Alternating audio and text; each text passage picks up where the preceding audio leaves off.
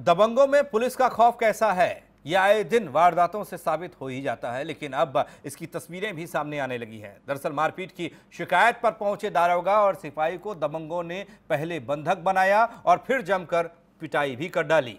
Report खबर के ज़रिए। पुलिस पर दबंगों का कहर।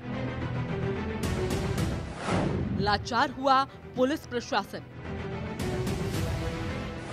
बंधक बने दरोगा और सिपाही।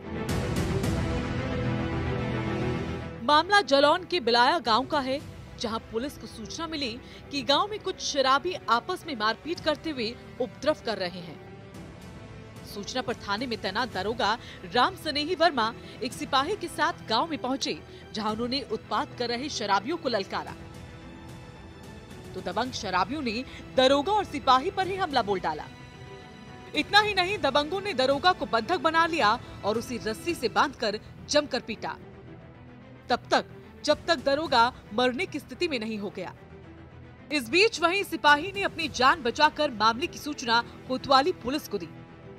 सूचना पर एसपी डॉक्टर सतीश कुमार सहित 10 थानों का पुलिस बल मौके पर पहुँचा, जिन्होंने दरोगा को दबंगों की चंगुल से बचाकर इलाज के लिए जिला अस्पताल में भर्ती कराया। जहाँ हालत नाजुक होने पर डॉक्टरों ने उसे मेडिकल कॉलेज रेफर कर दिया। वहीं पुलिस ने मामले में कार्रवाई करते हुए छह लोगों को हिरासत में ले लिया है।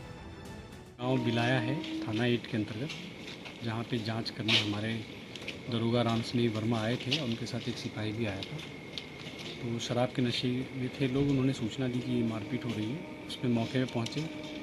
तो इन्होंने, जो विपक्षी थे, उनके दो लोगों को इन्होंने गिरफ्त में लिया। उसके बाद जब थाने को सूचना मिली तो वो तुरंत आए थाने से, और फिर फोर्स आई, उन लोगों को थाने पे बैठाया गया है। और पूछताछ की जा रही है। नशे की थोड़ी चोटें हैं, उन्हें अस्पताल में भर्ती कराया गया वो नॉर्मल है और आउट ऑफ़ डेंजर है, कोई ऐसी बात नहीं है।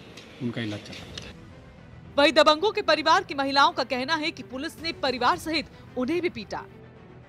फ़िलहाल गाँव में सुरक्षा व्यवस्था के लिहाज से एक कंपनी, पीएससी और पुलिस बल को लगाया गया है। जलाउन से Sushil Nayak, R nine TV, Uttar Pradesh, Uttarakhand.